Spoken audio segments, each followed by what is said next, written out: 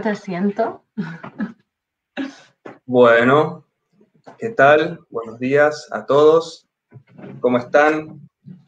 Yo soy Mauro Ramos, coordinador de prensa, difusión y marketing de la Fundación Autismo y Discapacidad Tucumán. Son las 10 y 10 de la mañana en Argentina y tenemos, ¿y por qué aclaro en Argentina? Porque tenemos una invitada más que especial y es un honor para nosotros contar con alguien de España. Ella es María Merino, es directora en Ciencias de Educación, licenciada en Psicología de la Universidad de Burgos, licenciada en Psicopedagogía con especialidad clínica y educación de la UNED. Es directora técnica del programa Bebé Miradas de la Fundación Miradas de Autismo Burgos, directora de Apitea en Autismo Burgos desde el 2006 y también es colaboradora del libro Autismo, cómo intervenir de la infancia a la vida adulta junto a Víctor Ruggeri y a José Luis Cuesta Gómez. También tenemos el, honor de contar con la licenciada Celia Gerardi, que ella es licenciada en psicopedagogía y es fundadora y presidenta de nuestra Fundación Autismo y Discapacidad Tucumán. Eh, quiero saludar particularmente a ustedes dos y también mandar un saludo a todas las personas que se van eh, conectando. Están mandando saludos. Eh, Cintia Navarro nos dice buenos días. Eli Ramírez, nos saluda desde Tierra de Fuego. Tierra de Fuego, eh, Mari es un lugar al sur de Argentina, muy hermoso. Em, Natalia eh, Palomo nos dice buenos días. Bueno, invitar a todas las personas que se vayan sumando a que dejen sus preguntas, que esto no va a ser nada coloquial y ni mucho menos. Esto es una, una, charla, una, conversación. Y bueno, sus preguntas eh, las vamos a estar leyendo Así que, bueno, desde acá, mi lugar como moderador, y les doy la palabra a, bueno, Celia, María, bienvenidas y siéntanse como en casa. Muchas gracias por la presentación, Mauro. Celia, te cedo la palabra. Tenés el micrófono apagado, Celia. Ahí está. Ahí está. Eh, bueno, antes que nada agradecerte, María, bueno, la aceptación a este conversatorio que lo venimos haciendo ya de manera habitual desde nuestra Fundación Autismo y Discapacidad Tucumán. Realmente para nosotros es un lujo, un placer tenerte desde allá, desde Burgos, España. Eh, bueno, nos conocimos en mi visita por allí, donde fuiste mi guía turística de alguna manera y me fuiste orientando, mostrando, enseñando. Me vine cargada de bibliografía de allá, realmente, bueno, fue un placer. Eh, y hoy más que, nunca el tenerte acá, con más razón, así que creo que te vamos a sacar el máximo de, provecho. Eh, así que bueno, un gusto. Acá, bueno, como bien decía Mauro, son las 10 y 10, allá deben ser las 15 y 10, una cosa por el estilo. Hay 5 horas de diferencia. Eh, y bueno, un poquito que nos cuentes. La idea nuestra de este conversatorio es Sabemos que ustedes son una fundación, creo que del año 99. ¿Puede ser, María? Que nos cuentes un poquito de la fundación donde vos estás trabajando. Sí, eh, eh, Autismo Burgos es una asociación que se fundó por familias hace ya 35 años, bueno, 36, y, y realmente lo que hicieron al principio fue juntarse tres familias porque no había nada, ¿no? Era cuando empezaban los movimientos familiares en España, había dos precedentes en Madrid, eh, la Asociación APNA, que fue la primera que la fundó Isabel Bayonas, que creo que sí que es conocida en Latinoamérica, y en Burgos pues se juntaron tres familias y consiguieron un espacio en una pequeña escuelita que era una cesión temporal, pero que sigue siendo ahora mismo es el centro educativo específico para personas con autismo y discapacidad intelectual.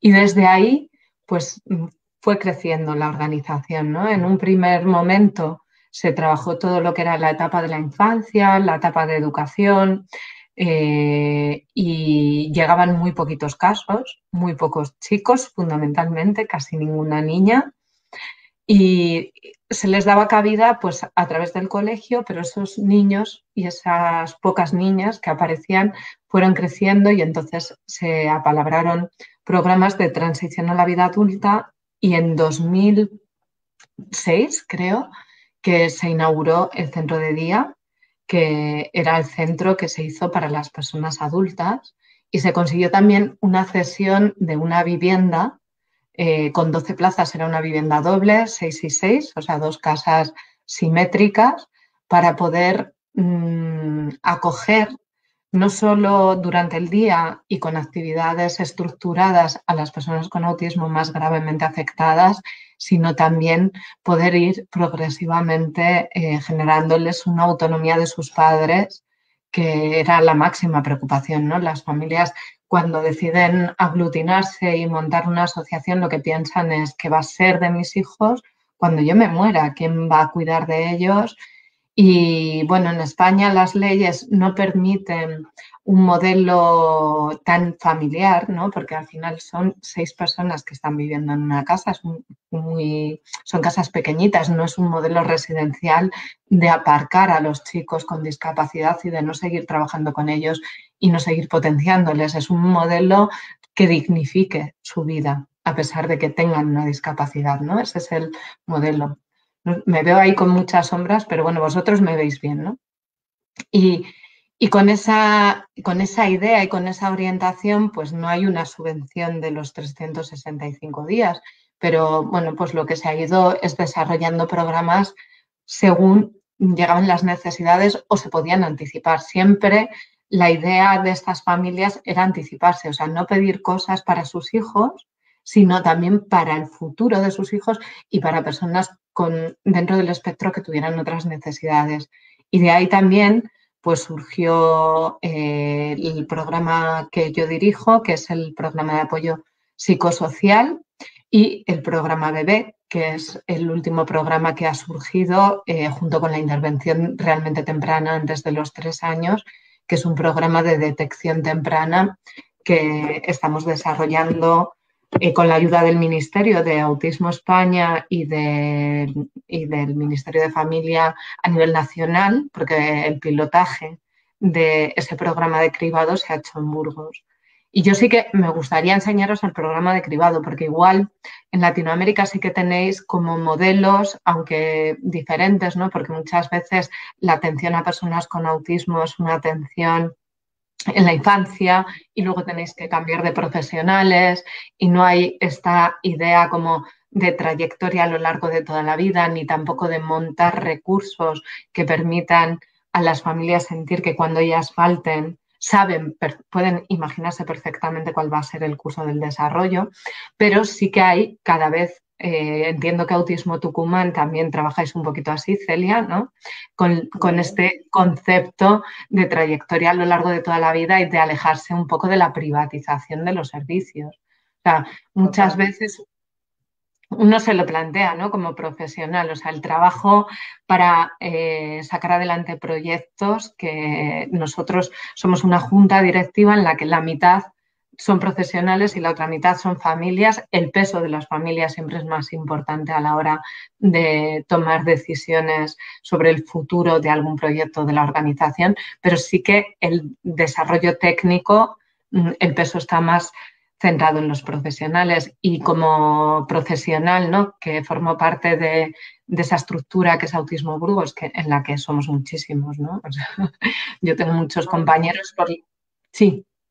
Perdón, no, quería irme sin, hacerte esta pregunta al respecto. Mm. Eh, ustedes, como nosotros, sostenemos siempre de que la familia es el primer eslabón dentro de toda esta, estructura que va a ser el abordaje desde la niñez hasta la adultez y es el primer eslabón dentro de la cadena interdisciplinaria. Sabemos perfectamente que nosotros sin la familia no somos nada ni hacemos nada, ¿bien? Porque nos nutrimos de la las familias. Y siempre esto es recurrente, pensar de que hay un factor común, más allá de que crucemos el charco, como quien diría, estemos en otro continente, la gran preocupación de los padres es qué va a ser de mi hijo cuando yo no esté. Ahora bien, así como nosotros tenemos acá en Autismo Tucumán, Autismo y Discapacidad Tucumán, un equipo interdisciplinario de muchísimos profesionales de diferentes profesiones, eh, estaría bueno que nos comentes un poquito quiénes son los que integran ese equipo interdisciplinario dentro de lo que es este, el trabajo de ustedes, ¿no?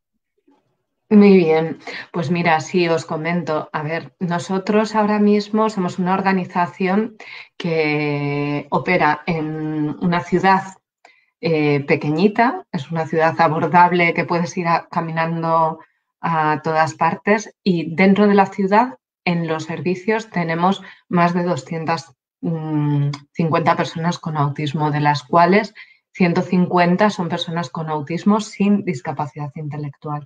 Pero en los entornos rurales, porque la provincia es muy extensa y entonces al principio sí que tenía que venir cualquier persona con autismo de un pueblo, tenía que venir a la ciudad y a veces eso era una hora y media de coche. Mm, tenemos un clima pues muy frío en general en el invierno y a medida que iban apareciendo casos en los entornos rurales, hicimos una apuesta por dar esos servicios también en los entornos rurales y empezar la rueda, o sea, dentro de que se compartía la visión, los objetivos, las herramientas, el trabajo, las ideas, ¿no?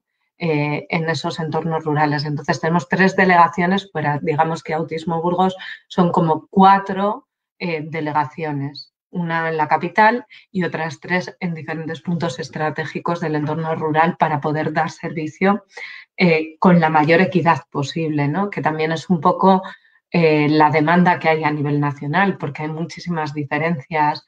Mm, si tienes un hijo con autismo en Burgos, no es lo mismo que si tienes un hijo con autismo en una provincia en la que ha empezado la trayectoria asociativa en 2010, ¿no? que las hay y también depende pues, de políticas económicas, del trabajo que se haya hecho con las organizaciones. Nuestra entidad eh, trabaja mucho con los hospitales, con los departamentos de salud, de pediatría, con los colegios, con las escuelas infantiles, con las universidades, con el tramado empresarial de la, de la ciudad, con todas las empresas, con los sistemas de vivienda y con la conexión comunitaria. O sea, es como que ha extendido una serie de tentáculos en los que toda la ciudad de alguna manera sabe lo que es el autismo y conoce cómo tiene que dirigirse a una persona con autismo. Por ejemplo, en la ciudad hay pictogramas y en los entornos rurales donde hay delegaciones también se han hecho pictogramas dentro del contexto comunitario como para facilitar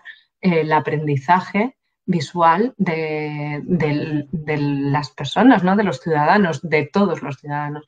Esta es un poco la visión para afuera y dentro, en el equipo, lo que es el equipo directivo está formado fundamentalmente por gente eh, que viene del ámbito de gestión, del ámbito del derecho, de la legislación, o sea, que conocen bien eh, todas las leyes que vayan a permitir pues, ayudar a tener garantías de equidad, de igualdad, apoyos sociales, apoyos económicos, pero que estén bien gestionados, porque nos pasa como en Argentina. Nosotros, las familias reciben una ayuda de dependencia mm, eh, a través de los servicios sociales, se valora a sus hijos y pueden decidir dónde, eh, o sea, si se quedan las propias familias el dinero o si lo invierten en recursos, ¿no?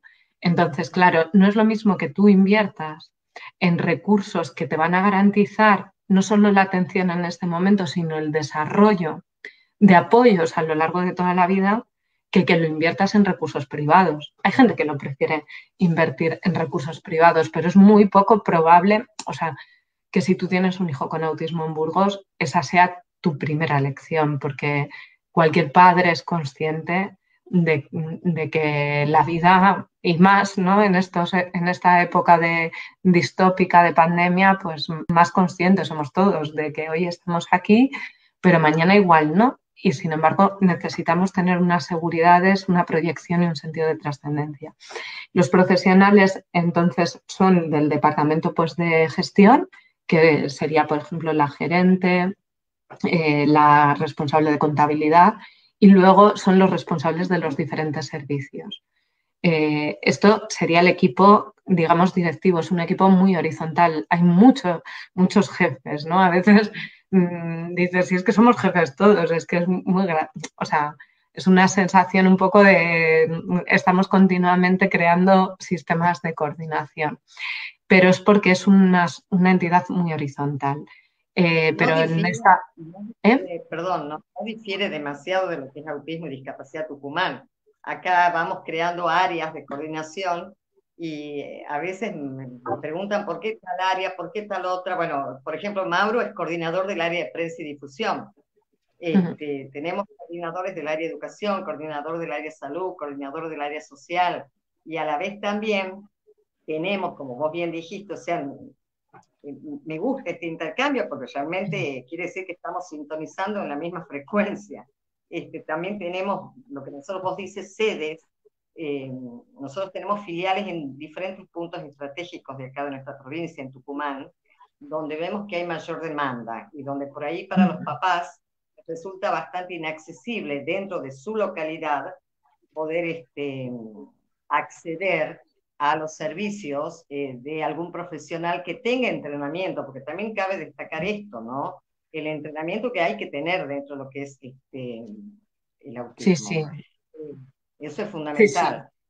Sí, sí, nosotros tenemos muchísimas formaciones, pero continuamente y además em, se valora el espíritu de formación. Por supuesto, alguien puede buscar formaciones por su cuenta, ¿no? Yo, por ejemplo, recibí formación en Impact y una formación en PACT y quise profundizar porque me pareció súper interesante. Entonces, hay veces que la formación eh, es dentro de la propia organización, hay veces que no, pero dentro de la propia organización hay muchísima formación y desde luego nadie puede estar coordinando un servicio eh, sin conocer todo lo que hay. O sea, yo considero que, bueno, todo no lo podemos abarcar, ¿no? Pero que hay mm, unas prioridades eh, de evidencia científica y de modelos que están funcionando que al menos mm, de una manera eh, escalar sí que hay que transmitir y que hay que aprovechar y que hay que incorporar en el desarrollo de servicios. Eso sí que lo hacemos continuamente como estás contando que lo hacéis vosotros. Sí que es un modelo similar. Así mm. es. Y ya, contanos un poquito que también esto nos interesa y ya me interesó a mí oportunamente cuando estuve allí. Eh, vos estás dirigiendo eh, dos proyectos, ¿verdad? Que era lo que estabas comentando. Y cuando yo estuve visitando Burgos, estaba recién de manera incipiente surgiendo el proyecto de Bebé Miradas. Si tenés algo que comentarnos acerca de, de, de, este proyecto que vos diriges, cuál es tu accionar, cómo es la dinámica, en qué consiste. Os voy a. Eh, ayer estuve hablando en el diplomado que ha organizado la Fundación Garragan y entonces lo tengo preparadísimo. Entonces os voy a hacer una pequeña presentación que preparé para ellos y la voy a hacer más rápido, pero para responder yo creo que visualmente eh, al modelo del bebé en miradas. Y, y, si os parece, pues comparto pantalla, ¿no? Mauro, ¿lo tienes ahí? ¿Tú puedes acceder a toda la presentación? Sí, ahí está compartida. Vale, fenomenal. O sea, que no la tengo que mover yo, ¿o sí? Eh, sí, vos la vas eh, moviendo a la vale. diapositiva. Vale, perfecto. Entonces, por ejemplo, ahí la veis entera, ¿verdad? Es que ahí os dejo de ver yo a vosotros. Se ve bien, sí.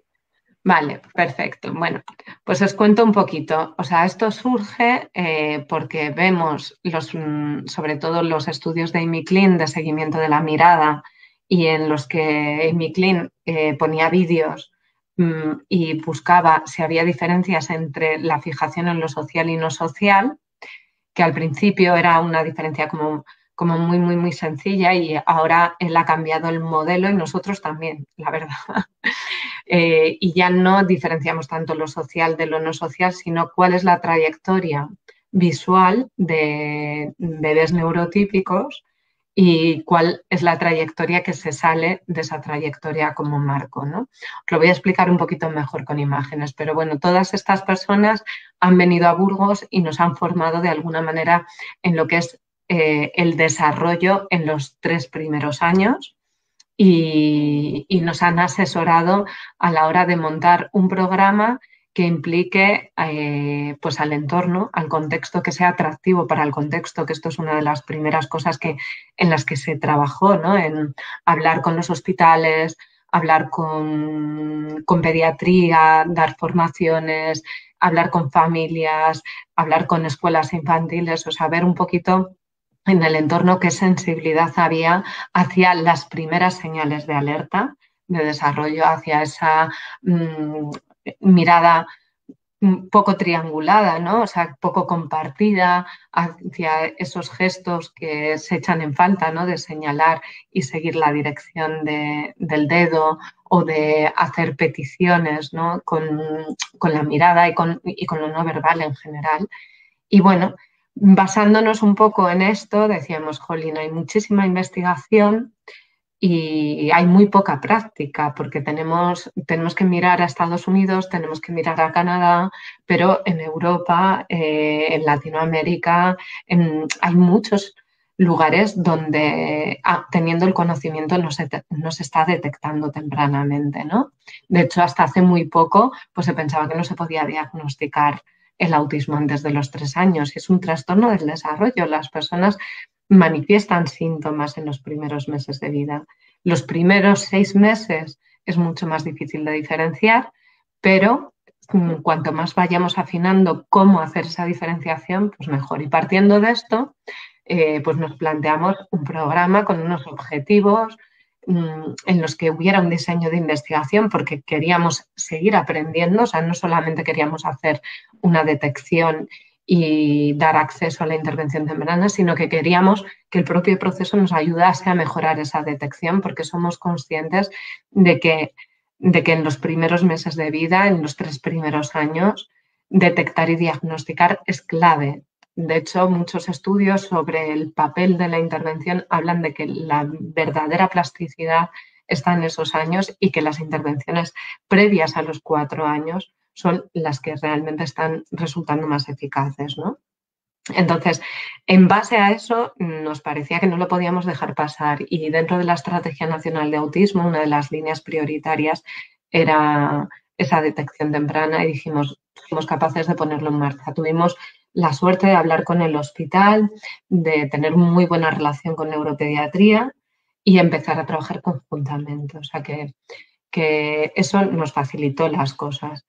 Mm, repasando, ¿no? Existe ese creciente consenso que, de que hay un declive de los 6 a los 12 meses y de que mirando la mirada podemos detectar muy tempranamente. Y además existe un consenso pues, de que una de las herramientas menos invasivas que podemos utilizar es el tracker, porque al final es poner a los bebés frente a una pantalla de televisión. Miramos un poquito los estudios que existían, ¿no? Y entonces vimos pues estudios en los que mm, una parte de la pantalla era una situación social, otra parte de la pantalla era una situación social, estudios en los que eh, se focalizaba más en la percepción centrada en el detalle, estudios en los que se focalizaba más en la capacidad de anticipar hacia dónde mira una persona mirando en la misma dirección que ella, ¿no? Como por ejemplo las imágenes que veis arriba de las cajas transparentes. Esa mujer pues mira hacia un lado, ¿no? Entonces se hace el seguimiento o no se hace y eh, básicamente en base a esto pues nos empezamos a plantear cómo generar nuestros propios vídeos y cómo íbamos a evaluarlos.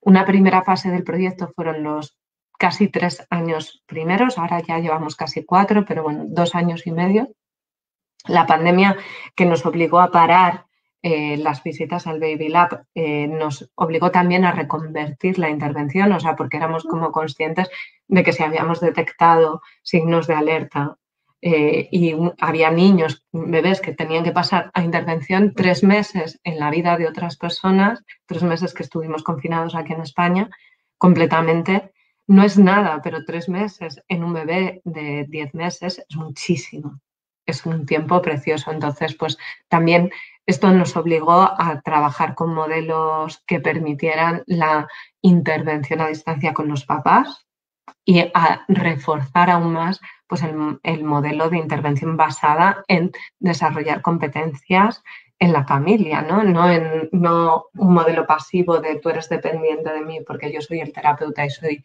el que sabe, sino un modelo mucho más colaborativo. Eh, la recogida la hemos hecho. Sí. Perdón, María, también para no irme del tema. Este, hay muchas cosas que te quiero preguntar de esto que estoy tomando notas realmente, pero hay algo que dijiste al final. eh, en este tiempo de pandemia donde sabemos, de, bueno, por supuesto que estos primeros meses de vida de un bebé son fundamentales, tratándose de la neuroplasticidad y demás, y sabemos que acá, al menos en Argentina, no se tiene eh, elaborado un patrón del desarrollo a través del cual un médico pediatra pueda llevar a cabo un screening, ¿verdad? Entonces mm. se van perdiendo un tiempo valiosísimo. Eh, y concadenando esto encima, el, tiempo de pandemia, donde nos tienen recluidos y donde el terapeuta ya no lo puede asistir al niño ni hacer ese seguimiento del que vos estabas hablando, ¿qué rol jugaba acá la familia? ¿Cómo era el entrenamiento que ustedes le podían ofrecer a los familiares? Pues mira, eh, nosotros, luego voy a hablar de ese entrenamiento en la parte final de la presentación, pero si quieres... Eh, che, María. ¿eh?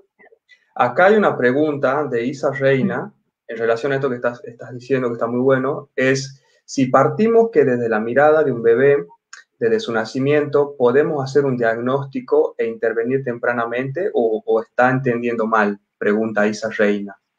Mm, bueno, a ver, no es exactamente así, pero la mirada eh, normalmente está alterada. Eso no significa que no miren lo social o que no miren a los ojos, sino que la frecuencia, la intensidad eh, con la que miran y el componente, mm, digamos, participativo mentalista que tiene la mirada de una manera muy innata, está alterado. Es decir, los bebés sí pueden mirar y de hecho nosotros mm, ponemos vídeos y miran a los ojos, todos los bebés, los TEA y los no TEA, pero los TEA miran menos y, eso eh, parece que hay bastante consenso.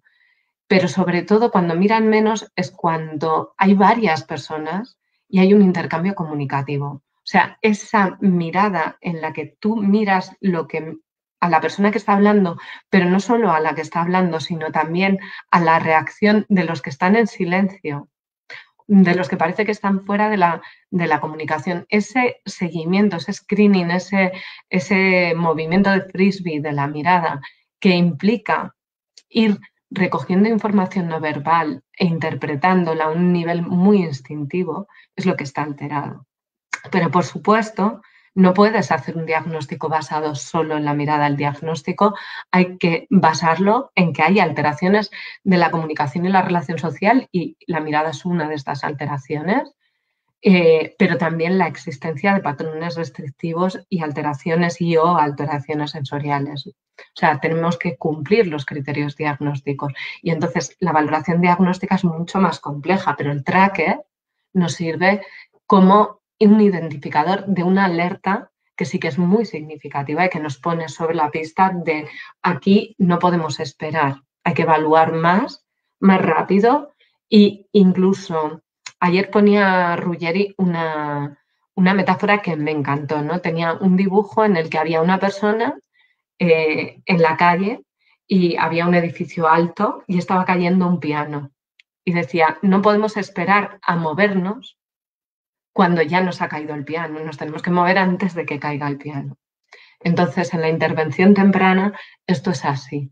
No podemos esperar a movernos cuando tienen un diagnóstico, porque estos meses de vida, estos primeros 36 meses, son fundamentales y se puede cambiar la trayectoria del desarrollo.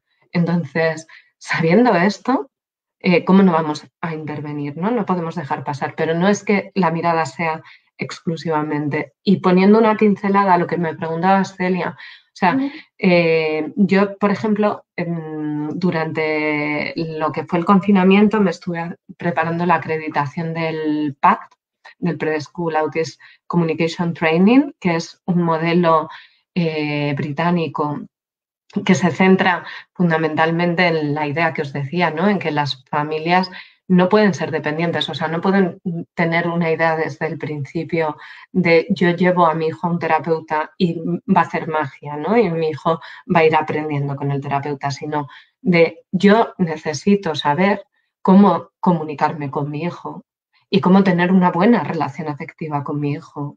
Y por lo tanto necesito yo las estrategias. Entonces, por ejemplo, ese modelo no se centra para nada, o sea, no es que no se centre para nada en los bebés, es que se centra en desarrollar competencias de los papás con sus bebés.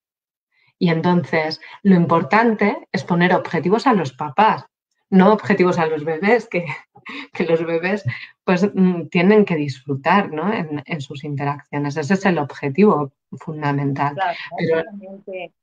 perdón María, básicamente, un poquito resumiendo para quien hizo la pregunta, esto es como vos bien clarito lo explicabas, es una señal de alerta más a tener en cuenta que este, dentro de este programa es fundamental y que por ahí no, no se lo consideraba, ¿no?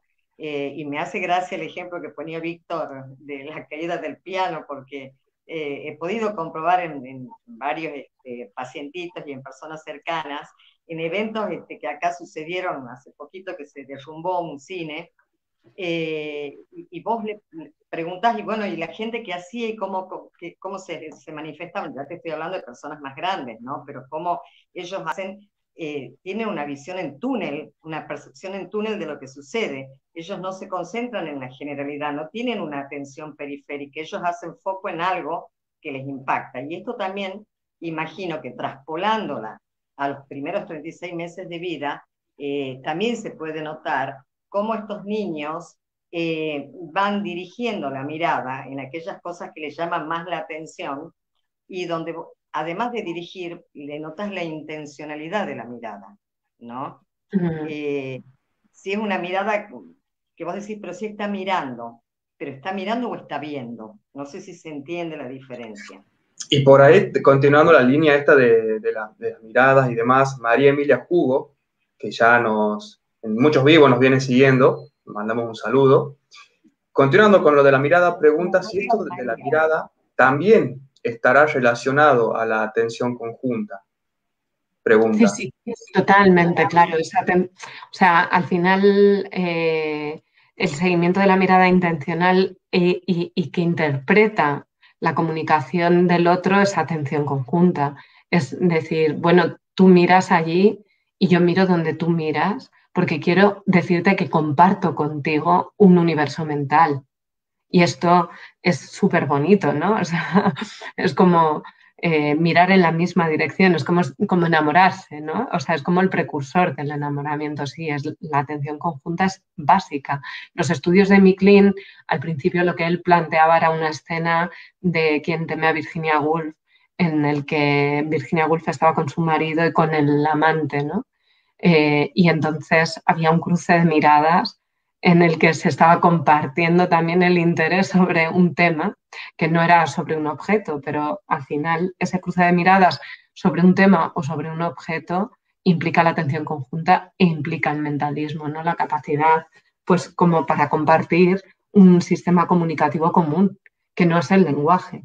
Y esto es muy importante, ¿no? Porque muchas veces los papás consideran que se van a comunicar bien sus niños si tienen lenguaje, pero es que los casos de autismo e hiperlexia, que hay mm, personas que son premio Nobel de literatura, como el frío de Jelinek, con autismo, nos hablan de que no tiene nada que ver. O sea, tú puedes tener muchísimo lenguaje, expresarte muy bien con el vocabulario y no hacer y no comunicar lo que verdaderamente es importante para ti, no conseguir tus objetivos de comunicación.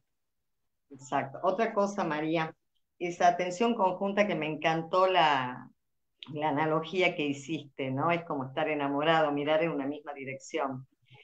Eh, en el caso de los neurotípicos, eh, se mira en una misma dirección, pero sin perder todo lo que yo te decía, esa atención periférica. Si hacemos un esfuerzo mínimo, sabemos que alrededor nuestro hay sonidos, podemos identificarlos, es como que no nos abstraemos eh, en su totalidad en el caso de las personas con autismo, tienen este, ese déficit de la atención conjunta, que es lo que conlleva indiscutiblemente al déficit en su socialización. En la medida que vos tengas la atención conjunta, estás socializando, estás estableciendo un vínculo con el otro más allá de la palabra. Y me hace, este, me resuena mucho el tema de la comunicación que vos también decías. Hay personas con Asperger que son grandes oradores eh, utilizan la gramática full porque utilizan perfecto los antónimos, parónimos, sinónimos, todo lo que vos quieras, pero cuando terminan de, su discurso, te quedas con la sensación, ¿y este qué quiso decir? O sea, la ausencia del discurso pragmático, ¿no? Y la practicidad, ¿no? eh, quizás pasa lo mismo, te hago esta pregunta, con la mirada. Pues ¿A dónde estaba? ¿Qué quiso explorar? ¿Qué quiso direccionar? ¿A dónde miraba? ¿Cuál era la intención de esa mirada? Pues a ver, eh, a veces nos encontramos bebés que, miran y, piensas que hay una intención y además hay una, o sea, hay una comunicación, pero se cumplen otros criterios. O sea, igual un bebé te comunica que quiere un coche para girar sus ruedas y eso lo comunica muy bien, pero no te comunica nada más, ¿no? No te va a comunicar cuando tiene miedo porque no identifica bien sus emociones o cuando tiene ganas de ir a hacer pipí porque no identifica bien su propiocepción y tampoco sabe cómo comunicarlo. Y entonces, bueno, pues, mm, o sea, la mirada hay que mirarla también en un sentido más extenso, no solo un momento, pero sí que es una señal de alerta muy clara cuando está alterada que no significa que cuando no esté alterada, si se cumplen los criterios, no haya autismo. Significa que, en principio en el autismo sí va a estar alterada esta mirada. Y un poco, o sea, si, queréis interrumpirme, interrumpidme todo lo que queráis, ¿vale? Si no, yo sigo el hilo de, de, enseñaros el programa, pues para que veáis que realmente lo que hemos hecho ha sido mucho seguimiento. ¿Vale? Eh, María, ¿Sí? sí, eh, yo quisiera rescatar esta cuestión de los modelos, porque uno habla de modelos que lo toma de, Inglaterra, lo toma de Francia, lo toma de Norteamérica, y por ahí está esta cuestión, bueno, yo entiendo que, eh, como también conoces aspectos de la educación, está esta cuestión de la complejidad. Entonces, em, está me parece muy importante resaltar muchos aspectos, pero fundamentalmente la cuestión de un trabajo interdisciplinario y la cuestión de que esos trabajos vayan acordes a las demandas, a las necesidades y a los contextos, porque si no uno agarra un modelo de, donde sea, lo quiere aplicar a un, determinado campo y no funciona. Entonces, siguiendo esa misma línea, eh, la idea es construir, hacer, pues, hacer eh, proyectos innovadores. Continuando esa línea, mm, eh, Marina Rank Bobby nos dice, bueno, buen día, y cómo se trabaja o cómo trabajan ustedes estos vínculos en el consultorio, si existe algún tipo de estrategia específica. Vale, a ver, eh, Mira, mm, por ejemplo, no sé si se refiere Marina específicamente a cuando se hace la intervención con los bebés y se les deriva, o sea, cuando se les detecta y se les deriva intervención, porque ese es un momento muy especial, porque es un momento en el que igual no tienen todavía un diagnóstico en firme, pero sí que tienen ya la palabra autismo o problemas del desarrollo eh, por la cabeza, ¿no? Entonces es un momento muy delicado porque además de empezar con un modelo de intervención, pues evidentemente tienes que crear un clima con la familia. Y yo he creado, o sea, yo he empezado intervenciones con familias mm, a distancia, ¿no? En, pleno confinamiento. Eh, y lo que os puedo decir es que a mí me ha sorprendido que incluso de esta manera sí que creas un vínculo, ¿no? Porque estábamos todos encerrados y el hablar y poder expresarte y, a veces te tienes que salir del modelo eh, porque, no, porque no puedes trabajar un día eh, el modelo como tal, porque ves que la necesidad primaria es mm, tener calma, poder responder preguntas, eh, que la familia se sienta escuchada, que puedan expresar sus miedos, sus sentimientos, o sea, el acompañamiento del duelo a veces es prioritario, ¿no? Otras familias, por ejemplo, con estos modelos en los que hay una carga teórica para la familia que se le enseña cómo hacer juegos sensoriales o cómo, mm, cómo mm, promover y crear provocaciones comunicativas para favorecer la atención conjunta o, la enseñanza de, cuestiones concretas como que tu hijo comparta contigo la atención o, o te enseño, te muestre o incluso te dé objetos estas enseñanzas son muy teóricas y muy técnicas y a veces hay muchísimo material para las familias y hay familias que esto lo llevan muy bien porque igual son más cognitivas y necesitan lecturas y aplican lo que leen y otras familias que esto les abruma y necesitan un modelo en el que se vaya más despacio, te ajustes más a su propio ritmo. Y entonces dentro de los modelos de intervención temprana también hay diferencias. Y también hay veces que un modelo puede funcionar y otras veces que no. Y esto hay que negociarlo, ¿no? O sea, no estamos cerrados, pero sí que es verdad que, que intentamos pues explicarlo muy bien desde el principio, generar un compromiso, tienen que firmar también un consentimiento informado, tiene que haber esa implicación de voy a participar, o sea, y, voy a hacer un poco lo que me pides, porque si no, pues eh, no funciona, ¿no? Y hay, y, hay veces que no se ajustan al modelo y que la prioridad es hacer el menor daño posible y, y favorecer al bebé o al niño lo máximo posible, pero la mejor manera es contando con la colaboración del entorno y del contexto. Entonces, ese vínculo es un vínculo que yo no lo llamaría vínculo terapéutico, aunque tiene un componente terapéutico, sino es más bien un vínculo de compartir un compromiso y unos objetivos eh, que al final son potenciar personas. Los papás a sus padres y los terapeutas a los papás. Eso es, lo que más cuenta. Mm. Continuamos, María. Continuamos con tu presentación.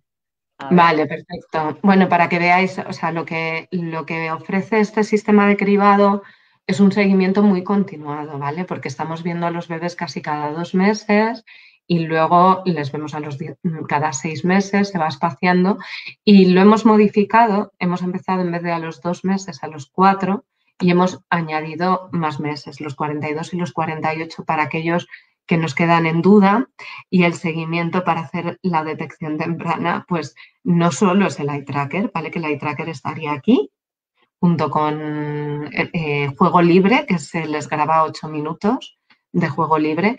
También utilizamos el edades y etapas, el CSBS, el AIM, el SCQ, el MChat. Eh, las herramientas que son más específicas de autismo las utilizamos menos mm, porque están validadas eh, y están diseñadas para edades no tan tempranas como, por ejemplo, en edades y etapas, ¿vale? Pero eso no significa que no nos interese recoger información del desarrollo típico y eso lo hacemos en los juegos libres y a través del eye tracker. Y una vez que hay sospechas, pues sí que pasamos helados el módulo T, eh, el Bineland y en ocasiones en las que tenemos una sospecha de que haya acompañada una discapacidad intelectual, se administra el Bailey. Y el PSI, que es una herramienta eh, para mirar el estrés parental, se, administra antes y después de la intervención temprana, aunque la intervención, pues en muchos casos continúa pues a lo largo de toda la vida, no solo lo que es el programa, ¿vale? Entonces, la idea global es utilizamos unos vídeos mm, y el eye tracker, pero el screening también se complementa, como os he comentado, la intervención se basa en las habilidades de los padres y la evaluación también se complementa con otras herramientas y después lo que hacemos es un seguimiento, ¿vale? Para resumir lo que os he comentado hasta ahora. Los resultados que hemos encontrado hasta ahora los hemos eh, encontrado en base a estudios retrospectivos, es decir, cuando nuestros bebés ya han terminado el programa, tienen más de 36 meses y se ha determinado si cumplen criterios diagnósticos o no. Eh, hemos analizado y comparado esos dos grupos, el grupo que finalmente ha tenido un diagnóstico de TEA con el grupo que no ha tenido un diagnóstico de TEA y ahí lo que hemos hecho es ir hacia atrás y ver sus visualizaciones. Si vemos una visualización específica, por ejemplo, de un niño no TEA, eh, sobre una actividad que implica atención conjunta, que esto es una pareja, pues que, ay, me he saltado, una pareja que están compartiendo un juego con un monito que es muy llamativo y en un momento el monito desaparece de la pantalla cuando vuelve a aparecer es una sorpresa. Entonces comparten esa emoción de sorpresa y esa emoción de eh, que sí que estaba, ¿no? que no ha desaparecido. Y lo normal es que el bebé vaya mirando y chequeando cuál es la emoción en los demás, lo que hablábamos antes de la atención conjunta respecto a un objeto. Este es el momento que nos interesa y este es el cuadro que nos interesa, a ver si hay esa triangulación de la mirada o no. Eh, en este otro vídeo están haciendo cucutras, entonces, claro, mirar a la zona de la mirada va a ser frecuente, pero lo que no va a ser frecuente es hacer esa triangulación, ¿no? Lo que vamos a encontrar son unas miradas un poquito más dispersas en los niños con TEA. Los nuevos vídeos los hemos diseñado en base a otras cuestiones, ¿no? Por ejemplo, en este vídeo primero sale una pelotita bajando por ese objeto y después una chica saludando y después salen los dos estímulos a la vez, después de que se han cerrado las puertas. ¿A cuál va a mirar primero? ¿Cuál es más interesante? ¿Cuál atrapa más la atención? ¿Qué es lo que da más importancia? ¿no? ¿Al estímulo social o al no social? O este vídeo en el que estoy jugando con un coche, se choca eh, una primera vez, entonces eso es una sorpresa, y luego vuelvo a jugar y luego paro para indicar que se va a volver a chocar. Y lo que intento es compartir esa emoción, ¿no? ¿Eh? Ya sabes lo que va a pasar, estás anticipando, te estás divirtiendo con mi juego y entonces en ese momento espero que me mires a los ojos.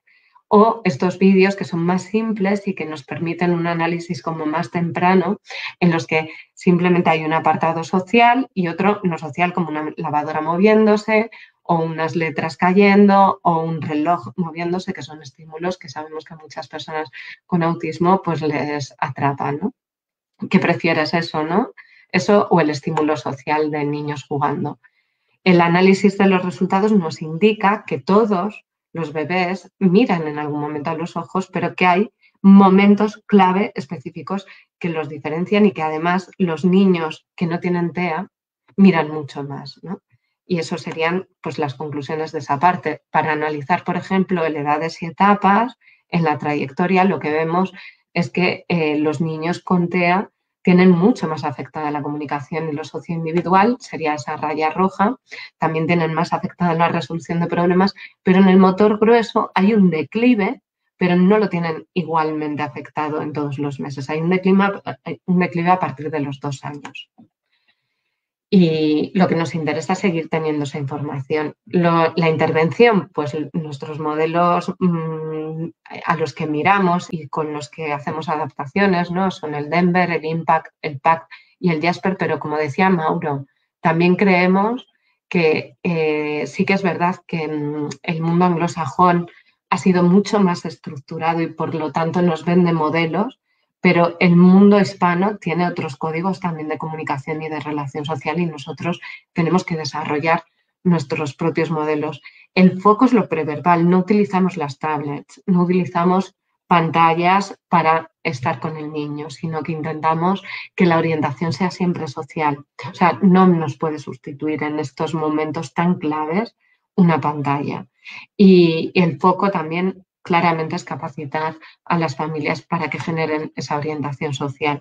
Este eh, es un resumen como del modelo PACT, que lo que hace es transitar a partir de las habilidades hasta el punto donde lleguen los propios papás, pero mm, transitando ideas que son muy importantes, ¿no? Como cómo colocarse para tener una atención compartida. Esta no es la mejor forma, esta sería la mejor forma, que sería justamente enfrente. Cómo generar una sensibilidad, disfrutar con lo que tu hijo está haciendo, seguirle, eh, seguir su mirada, sus juegos, eh, su nivel de activación para generar situaciones de sincronía, promover su iniciativa, no ser directivo, esperar, ser capaces de esperar. Bueno, estas serían algunas de las estrategias que se ayuda a los papás a identificar mediante un sistema de preguntas y de grabaciones de vídeos en los que son los papás los que interactúan con sus hijos y el terapeuta quien les ayuda a ver esos vídeos y a encontrar aquellas estrategias que ya tienen, con las que ellos van de serie ¿no? y, que son más positivas para desarrollar la comunicación y la interacción social. El modelo Impact es un modelo un poco diferente, mm, pero que tiene muchas cosas en común porque también enseña las esperas, enseña la imitación, pero va enseñando cómo colecciones mucho más específicas y también nosotros lo que hemos hecho ha sido no solo trabajar con las familias individuales individualmente, sino eh, hacer un entrenamiento grupal en, el que las propias familias pues enseñaban. Y esto sería el, modelo, el modelo bebé, ¿Vale? Entonces, bueno, si quieres puedes quitar la presentación y, así lo he explicado muy rápido, muy a grandes rasgos, pero lo que a nosotros... Está, clarísimo. Eh, yo creo que lo fundamental, bueno, eh, eh, esto tomarlo en cuenta como que realmente es innovador, porque era lo que yo te decía, acá lo que está faltando por ahí en Argentina es, y sobre todo en, en algunas provincias, es este tipo de intervención temprana, ¿sí? De intervención temprana por parte de profesionales médicos, que son los, los primeros los que están eh, ahí al pie del cañón, como quien dice, eh, recibiendo a este niño e interactuando con las familias, donde por ahí no hay una escala de desarrollo, que esto también hacía mucho hincapié por Ruggeri eh, al momento de, de un conversatorio que tuvimos, y que si por ahí los profesionales médicos eh, tuvieran una escala del desarrollo donde pudiéramos hacer un seguimiento de la mirada, donde pudiéramos hacer un seguimiento en cuanto eh, a, la parte comunicacional, ya sea no necesariamente lingüística, sino el solo hecho de señalar, el solo hecho de girar la, la, cabecita cuando se lo llama, eh, son cosas que podrían ir por ahí uno tomando intervención de manera más precoz. lo único que lo, nosotros acá podemos trabajar es que en casos de donde notamos indicadores más severos, ahí sí es donde el especialista o el pediatra eh, tiende a derivar, pero no tenemos que llegar en estos estadios, sino ustedes ya están poniendo esto en práctica como ya un modus operandi, ya algo que tiene que estar siendo un, un hábito dentro de todo de todo este entrenamiento, no entrenamiento, sino intervención pediátrica, ¿bien? Eh, cosa que esto nos, porque nos ayuda a entender que en estos niños, que la mirada es un mecanismo de comunicación, es un mecanismo social, y hay que ver la intencionalidad de la mirada, como para dar, ir dándole forma a esto. Eh, acá veía preguntas que te hacían psicólogas y estimuladoras tempranas, porque el rol del estimulador temprano es aquel que interviene en los tres primeros años de vida cuando todavía no podemos hacer un diagnóstico de autismo, porque no tenemos la cantidad de herramientas específicas. Entonces, ¿qué es lo que tratamos de hacer? Estimular aquellas áreas del desarrollo que la estamos viendo como que están medio flojas, para que llegado el momento de un diagnóstico efectivo, ese diagnóstico sea lo más, entre comillas, benévolo posible, ¿sí? Eh, entonces, por eso te decía, creo que Marina Rank era una de las chicas que es estimuladora temprana y psicomotricista, a la vez que es psicopedagoga. Y, también estuvo dando una charla para los papás nuestros de la fundación, ¿no? El, el, rol preponderante también acá, pediatra, papás y terapeutas, ¿no?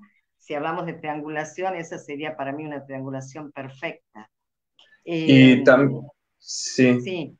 Sí, no, yo quería agregar que, bueno, siguiendo con esta línea de las herramientas, de los instrumentos, eh, Vanessa H. Nos, eh, nos, dice que si bien los instrumentos de diagnóstico en su mayoría están estandarizados en población masculina, eh, si se le podría proporcionar o alguna recomendación sobre alguna fuente para indagar en población femenina a edad temprana.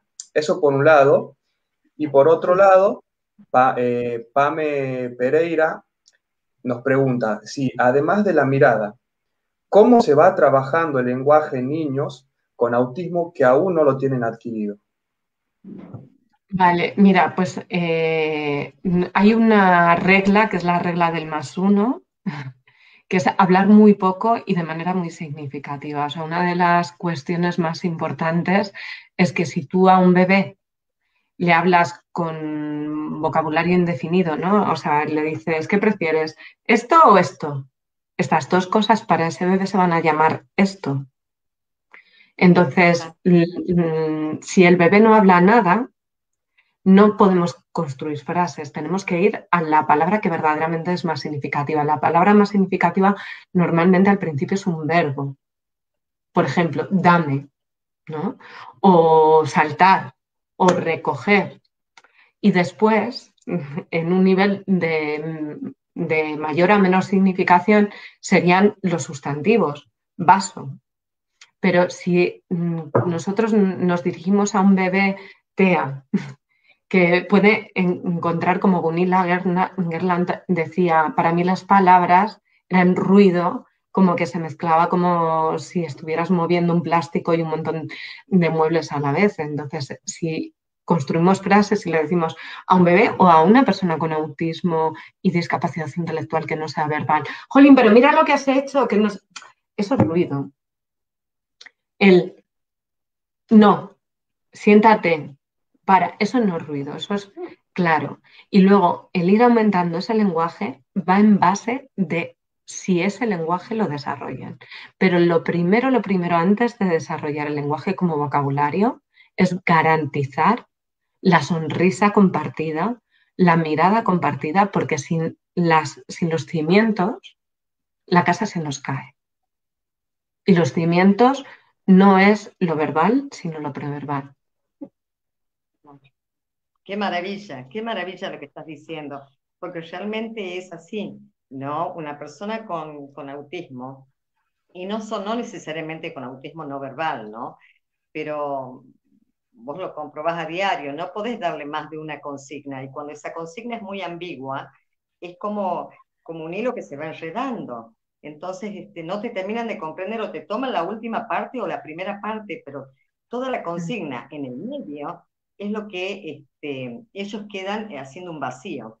Entonces tenés que ser muy, muy puntual y a veces yo les digo a los papás en consultorio este, y a los docentes cuando vamos a capacitar, y trabajamos mucho con adecuaciones curriculares nosotros para niños con esta condición, eh, que den una consigna por vez. No le podemos decir al niño, mira, tienes que ir al baño, después vas a dirección a retirar el libro de actas y cuando vuelvas de pasada, trata de hablar con la señora. No, porque lo enloqueces. Uy, se me a mí. O lo primero o lo último, pero este, y es como vos dices, eh, mucho ruido y suena así, a, plástico o vidrios rotos. Entonces es, eh, lo atormentás y le generas una tensión psicológica que no era necesario. Y eso le genera presión, le genera angustia, le genera crisis. ¿no? Que ahí hay otro componente que es seguir instrucciones. Entonces, cuando tú estás enseñando a un bebé con autismo a seguir instrucciones, hay que ser conscientes también de que no podemos dar órdenes que no estemos seguros de que va a cumplir, porque si no, le estás enseñando lo contrario, a que tú le das órdenes y las hace o no.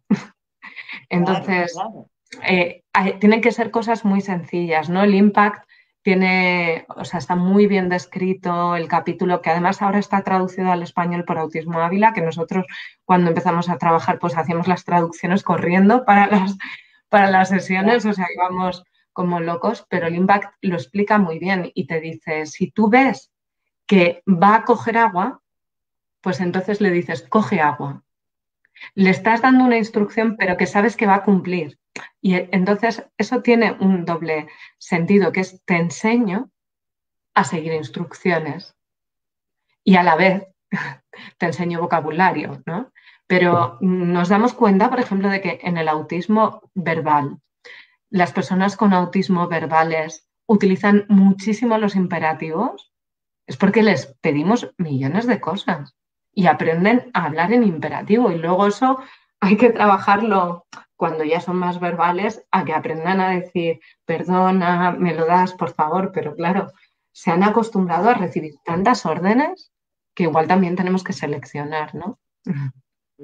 Em, última, perdón, perdón, Mauro. Sí, sí, sí. Si no me voy descolgada.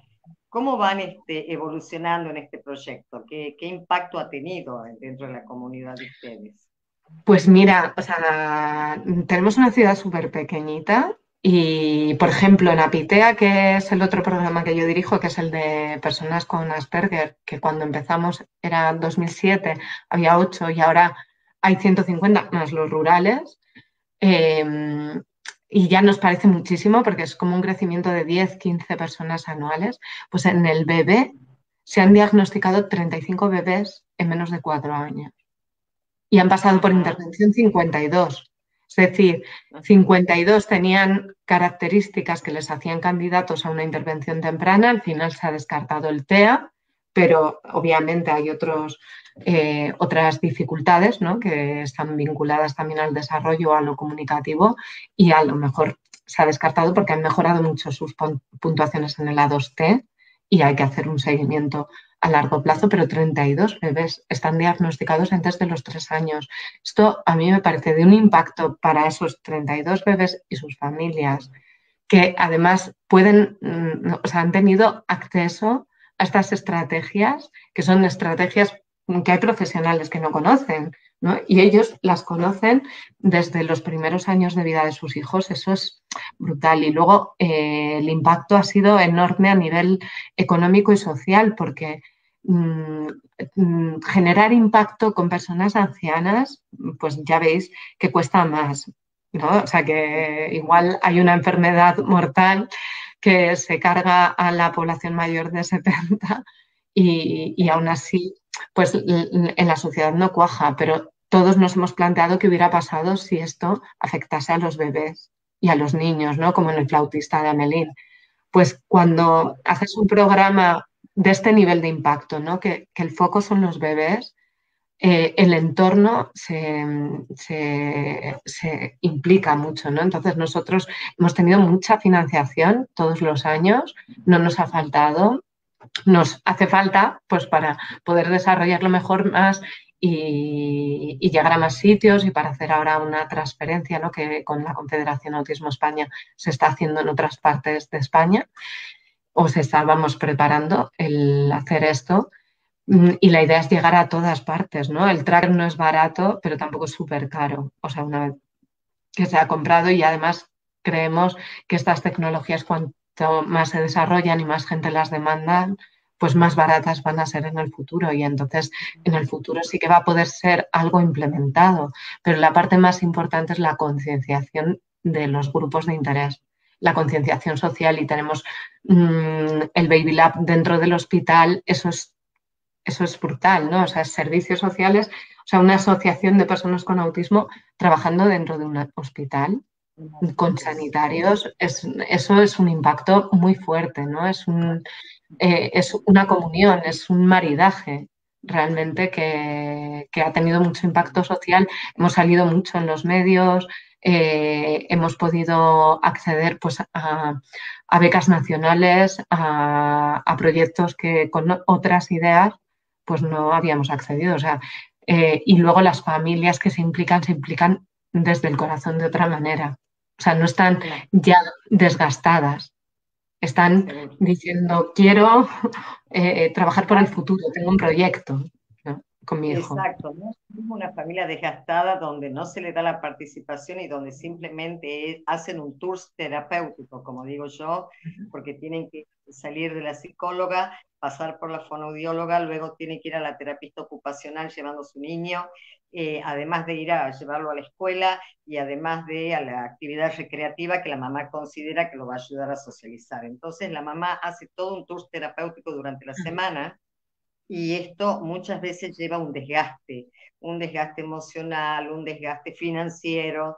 Y distinto es cuando se involucra a la familia porque ya son parte de ¿no? Pero lo que cuesta siempre es el principio, es que el papá, la mamá tome conciencia, porque obviamente está recibiendo, digamos así, una presunción diagnóstica de algo que todavía en nuestra sociedad es una palabra medio, medio chocante, ¿no? Es decir, tenemos, estamos frente a un niño que probablemente pueda tener un trastorno global del desarrollo. Y los papás te dicen, por eso algo Mauro te decía, también hay que contextualizar en, en cuestión de educación, en cuestión social y cultural. Mm. Eh, y los papás te dicen que es un trastorno global. Y vos le decís, bueno, conoce la palabra autismo. Y, y es el impacto de decir, no, no puedo creer. Y, y hacen todo un proceso de duelo que hasta que el papá y la mamá comienzan luego de la culpa y demás a retomar esto y a decir, bueno, ya está, Ahora sí hay que poner las cartas sobre la mesa y ver por dónde empezamos. Bueno, necesita de todo una red de contención. Y para eso estamos las ONGs, las fundaciones, tratando de ayudar a esos papás en estos procedimientos. Pero cuando se involucran, se logran, bueno, magníficos resultados. Bueno, son brutales. Yo mm, creo que los padres con los que he trabajado intervención temprana, que no es mi área, ¿eh? o sea, tenemos una compañera que es la directora del área de intervención temprana, que es Tatiana, que es mm, buenísima, pero he tenido la oportunidad de aprender muchísimo y he aprendido mucho, mucho de las familias, sobre todo humildad, porque es que lo hacían increíble. O sea, es que mm, aprendían las técnicas súper rápido y las aplicaban con mayor motivación. Es que nadie va a tener tanta motivación en el desarrollo de su hijo. Claro. Eh, yo por ahí, siguiendo la línea esta de, los padres y demás, algo muy particular que se dio con esta situación de la pandemia, eh, globalmente obviamente, pero por ejemplo acá en Argentina estaba esta cuestión de las escuelas, la educación, qué iba a pasar, qué no iba a pasar. Entonces, yendo para, el, para, esa, para ese sector, mm. eh, María Emilia Jugo nos dice, una vez escolarizado el niño o niña, ¿cómo se puede intervenir desde la escuela en cuanto a la mirada, la comunicación y la participación de la persona? Bueno, o sea, yo creo que de la misma manera lo que pasa es que hay que hacer un entrenamiento fuerte también con los profesores, ¿no? O sea, que hay que, hay que hacer una colaboración y establecer alianzas y confiar muchísimo también en la propia experiencia que tiene toda la gente que se dedica a lo educativo. Ahí hay muchas diferencias también de itinerarios, ¿no? Por ejemplo, en Burgos está el colegio concertado específico de autismo Luego hay niños que están en aulas estables, que son aulas de integración. Hay chicos que tienen escolarización combinada, que van al colegio concertado, pero van a un colegio ordinario unos días eh, en particular o dentro de las aulas estables también tienen un sistema un poco de escolarización combinada porque comparten algunas asignaturas o actividades eh, más comunitarias con, con, las clases ordinarias. Luego están los chicos y chicas que están en el sistema educativo ordinario y que cuentan con o sin apoyos específicos, con o sin adaptaciones eh, de currículo o solamente con adaptaciones de acceso o ni siquiera con ellas. Entonces, la variedad es inmensa. Dentro de esa variedad, el papel de los profesores es fundamental, eh, pero igual en una clase ordinaria, por ejemplo, no es tan fundamental que el profesor garantice la comunicación o el contacto ocular, porque muchas veces hay tantos estímulos que lo primero que tienen que hacer es reducir estímulos, porque si no, el alumno, si mira a los ojos, ya no escucha nada. es como no filtro, estoy escuchando todo lo que dicen mis compañeros y encima tengo que mirar a los ojos y como dice el grupo Golpes Bajos, que igual no lo conocéis, es un grupo español, tenían una canción que era No mires a los ojos de la gente, da mucho miedo. mienten siempre, ¿no? Yo a veces pienso, madre mía, qué acertados, ¿no? Con esta canción, en esa experiencia de sensorialmente es muy fuerte también la comunicación que puede dar una mirada, ¿no? Entonces, igual ese no es el lugar.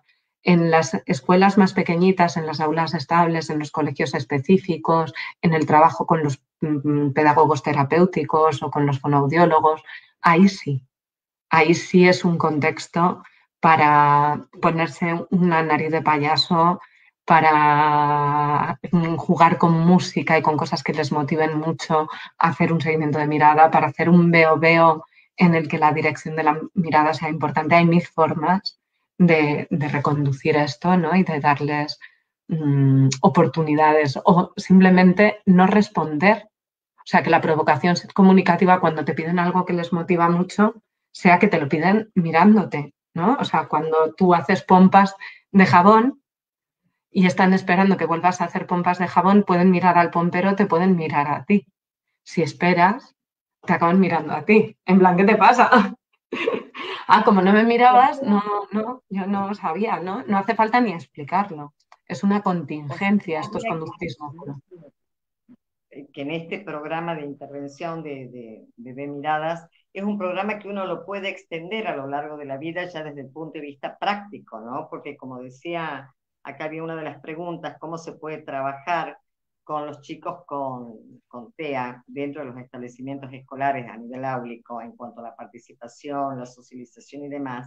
Vos bien decís, eh, primero el entrenamiento a los docentes, que es lo que vos sabés de que acá, básicamente en nuestra provincia, en Tucumán, no, no se está recibiendo entrenamiento a los docentes sobre los trastornos del neurodesarrollo. O sea, no saben qué hacer con un chico con esta condición. Entonces prefieren dejarlo aislado, frisado en una esquina del aula, porque es un niño de que no participa, no hace nada, pero cuando vos vas y das una charla, una charla informativa, y donde comenzás a involucrar a los docentes, a los compañeros, porque también no hay que olvidarnos del hostigamiento, del bullying, de lo cual son víctimas estos niños, este, hay un cambio de actitud porque ya no lo ves como una cuestión cuco, de que me espanta o de que puede ser contagioso, porque te cuento, hay muchos papás que, que han venido llorando y diciendo, recibí la queja de una mamá que no quiere que yo siente a mi hijo al lado de ella porque se contagia, porque hace así.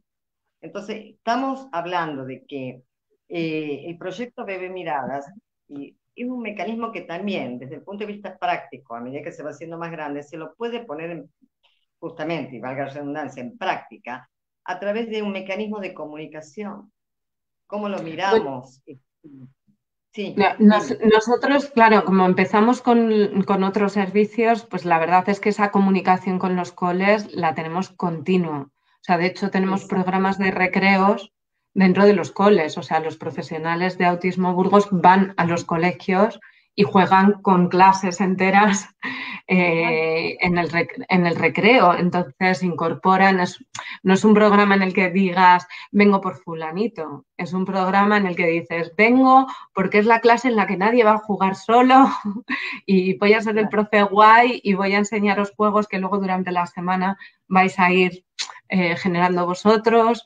Y, y, evidentemente ese profesor conoce al alumno con autismo, pero va ahí de, como de incógnito y, para ayudar como a incorporar. O sea, esa puede ser una estrategia, por ejemplo, de inclusión educativa, pero para que te dejen entrar en un cole, o sea, el cole eh, no te tiene que ver como alguien que va a decirle lo que tiene que hacer, porque es que eso no lo aguanta nadie. ¿No? Y ahí es muy importante y a veces es muy difícil de controlar también el ímpetu de las familias, porque a veces ante estas situaciones de bullying, pues las familias están tan dolidas que se enfadan con el colegio, ¿no? Y, en realidad el trabajo tiene que ser tender puentes y, y, yo entiendo que desde una situación emocional en la que están dañando a tu hijo, pues es muy difícil ir y tener una comunicación asertiva, ¿no? Eh, y a veces ese espacio de traducción sí que es bueno que lo hagan los profesionales. A veces sí. Además. Por la importancia de, estas instituciones intermedias, ¿no? Donde son fundaciones, las asociaciones, que nos acercamos a los establecimientos muchas veces a pedido de las mismas familias o de algún que otro educador que te dice, necesitamos una charla, porque tenemos tanta cantidad de niños que han llegado con este diagnóstico y no sabemos qué hacer. Entonces, bueno, ahí vamos todos los que estamos preparados como para hablar mínimamente en términos básicos y poder hacer una mínima intervención. Y esto va ayudando justamente a que se vayan, a ver si cabe el término, naturalizando esta cuestión del autismo. En una sociedad que hay que mirarla de manera diversa, porque eso es lo que somos y eso es lo que nos enriquece. Como nos enriqueció esta charla, este conversatorio, María, Realmente no queremos robarte más tiempo, no sé si quedarán preguntas, deben haber, y te puedo asegurar que después de, del cierre de este conversatorio, la gente cuando se ponga, porque queda colgado en los muros, lo va a escuchar y van a seguir preguntando. Eh, yo agradecerte tu tiempo, ha sido riquísima la experiencia esta que nos estás compartiendo en cuanto al proyecto Bebé Miradas. Eh, cuando estuve yo ahí era, era algo incipiente, era un bebecito el proyecto, ¿no? Y ahora, bueno, ya nos estás contando cómo se expandió. Recuerdos de mis compañeros, por cierto, Celia, que les mm, comenté, digo, mira, me han dicho esto de Tucumán. Y nada, muchas gracias a vosotros. Ah, ha sido un placer. Y bueno, Mauro, ¿queda algo por decir? Eh, bueno, también este, hacer, hacerme eco de lo que dice licenciada Celia un placer.